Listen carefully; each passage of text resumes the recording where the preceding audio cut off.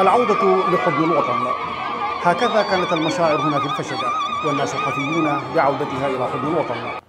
القوات المسلحة التي أعادت الانتشار في المنطقة واستعادت أراض عزيزة ها هي تكمل المجهود بإضافات تنموية. فهذه الجسور تمثل حلقة الوصل بين الفشقة وبقية السودان. نحن قسما نحلف قدامكم كلكم أنتم ناس المنطقة دي. كلنا نفنى هنا في هذه المنطقة كلنا.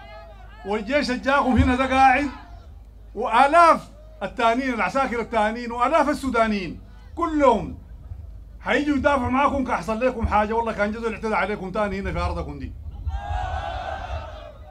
نحن بنحييكم كلكم وبنقول لكم إن شاء الله هذه المنطقة كلنا كسودانيين كلنا كحكومة نقيف معاكم لغاية ما تعمروها ولغاية ما تبقى منطقة جاذبة ولغاية ما زي ما قال أخونا رئيس الوزراء السودان كله ياكل منا من هنا كل السودان. وتبقى كلها قبلة للمستثمرين وقبلة للناس الدارين يجوا فعلا يستفيدوا من خيرات السودان.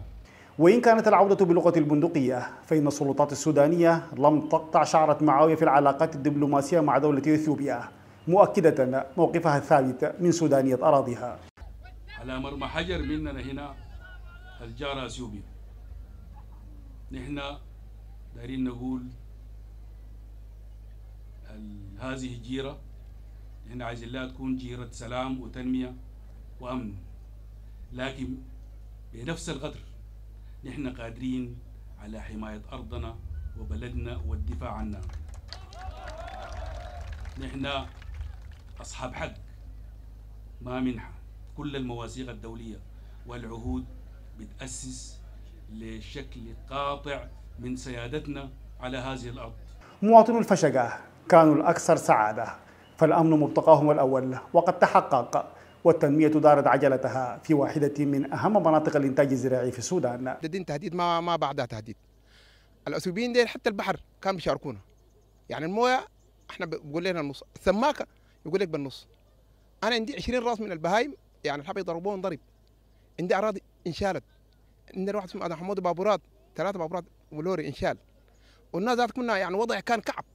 يعني الناس كلها خلاص وصلت لمرحله مرحلة إنه خلاص يأس.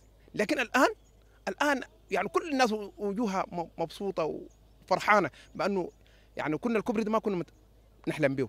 عودة الروح لهذا الجزء المهم من الوطن تعد مؤشرا مهما لإنسان المنطقة ودافعا حقيقيا لدوران عجلة الإنتاج والتنمية.